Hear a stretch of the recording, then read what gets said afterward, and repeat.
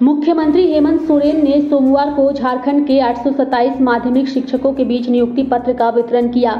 रांची के मोराबादी मैदान स्थित रामदयाल मुंडा फुटबॉल स्टेडियम में आयोजित कार्यक्रम में हाई स्कूल शिक्षक नियुक्ति परीक्षा में सफल इन अभ्यर्थियों के बीच नियुक्ति पत्र बांटा गया। इस मौके पर उन्होंने स्कूली शिक्षा व साक्षरता विभाग की ओर से बच्चों को डिजिटल शिक्षा देने के लिए बने जे गुरुजी ऐप को भी लॉन्च किया। इस ऐप से झारखंड के सरकारी स्कूलों में पढ़ने वाले बच्चे ऑनलाइन शिक्षा पा सकेंगे। इस मौके पर मंत्री आलमगीर आलम, सत्यानंद भोक्ता, सांसद महुआ माझी, विभागीय सचिव के रवि कुमार, सीएम के सचिव विनय चौबे, निदेशक स्कूली शिक्षा सहित कई उपस्थित थे। इसीलिए सरकार जो कहती है, वो निश्चित रूप से करती भी है।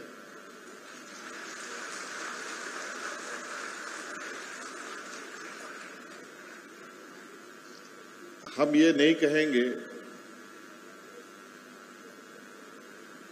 कि महज चंद वर्षों में हम राज्य की सारी समस्याओं का समाधान कर लिए। लेकिन ये ज़रूर कहेंगे कि वर्तमान सरकार से इस राज्य की जनता की आस और उम्मीदें बहुत बढ़ी। आज आप लोगों ने को मालूम होगा कि हम लोगों ने सहायक अभियंताओं की भी नियुक्ति की।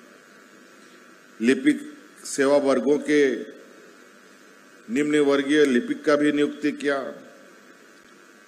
डेंटल डॉक्टर्स का भी नियुक्ति किया, पंचायत सचिवों में भी नियुक्ति की।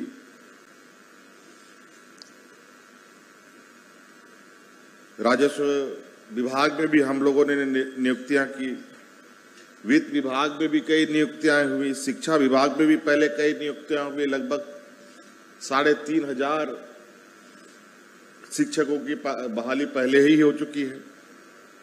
गृह विभाग में भी नियुक्तियाँ हैं हम लोगों ने की, सौ से भी अधिक लोगों की। स्वास्थ्य विभाग में भी हम लोगों ने डॉक्टरों की नियुक्ति की, लगभग 500 के लगभग डॉक्टरों की नियुक्ति की। वहीं जानवरों के डॉक्टर का भी हम लोगों ने नियुक्ति किया, जो लगभग 50 की संख्या थी।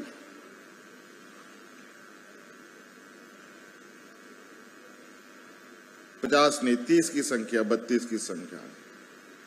पथ निर्माण विभाग में इंजीनियरों की बहाली हुई, नर्सेस की बहाली हम लोगों ने की, आयुष चिकित्सकों की बहाली हम लोगों ने की। कई ऐसे सारे विभाग हैं, जहाँ हम आज कह सकते हैं, और ये सारी नियुक्तियाँ,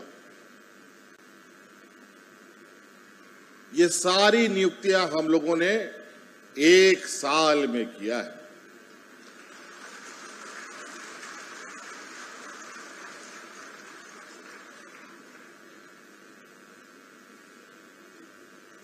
और ढाई साल तो हम लोग कोरोना में ही उथल पुथल हुए थे।